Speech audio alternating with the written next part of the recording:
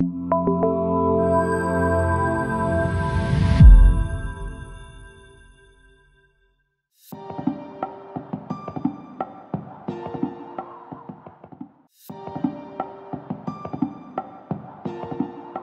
Seguimos recorriendo entonces la Feria Food and Service 2016 y en este momento nos encontramos en el stand de Vito. Es una marca alemana que trae interesantes novedades para presentar aquí este año. ¿De qué se trata? Para eso estamos eh, con José Antonio Serrano que nos va a contar más detalles. Hola, buenas tardes. Hola, buenas tardes. José Antonio, cuéntame, veo que hay aquí algo de equipamiento, cuéntame de qué se trata. Claro, esto lo que trae es equipamiento para tu cocina, lo que venimos a hacer es gestión en tu aceite de cocina. A través de un proceso de filtración y a través de unos testes nosotros podemos decir en qué momento tu aceite está bueno, en qué momento tu aceite está malo y extendemos la vida útil de tu aceite a través del filtrado, generando así un ahorro hasta un 50% en tu cocina.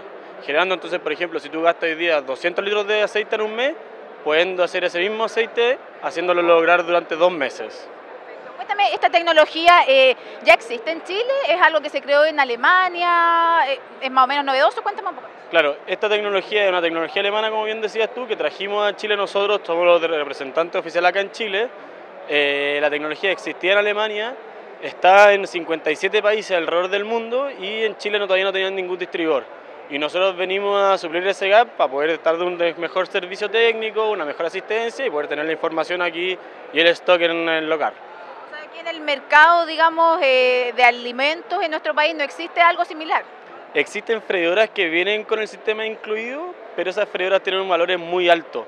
Entonces, para, por ejemplo, restaurantes pequeños, food trucks o locales que se están recién instalando, viene a ser una alternativa económica y rentable al mismo tiempo.